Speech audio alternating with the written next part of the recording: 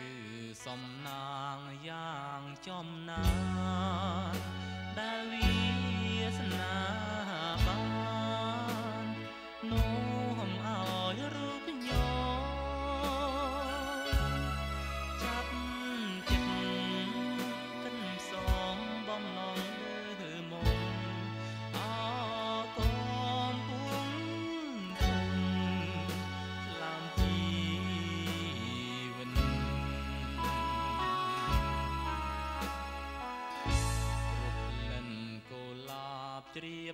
បសពប្រា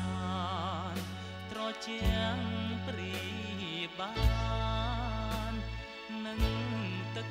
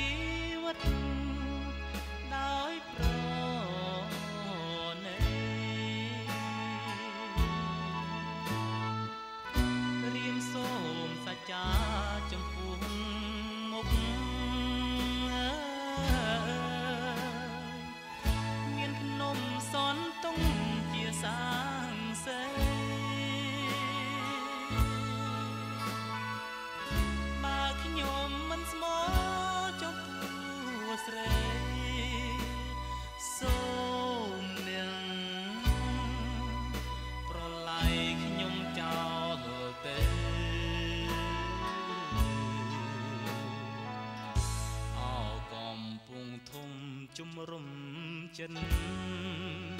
សូមផ្ញើជីវិតរឿងពិតនឹងពើ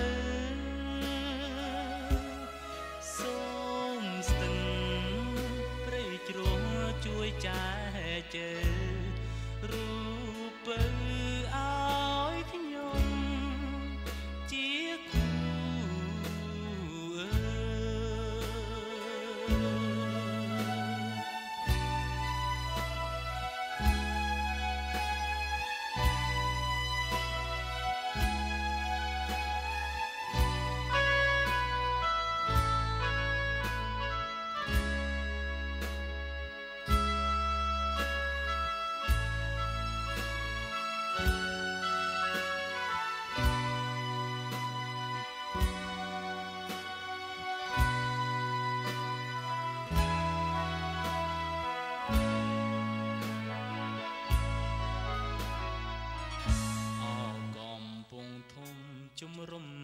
ចិត្ត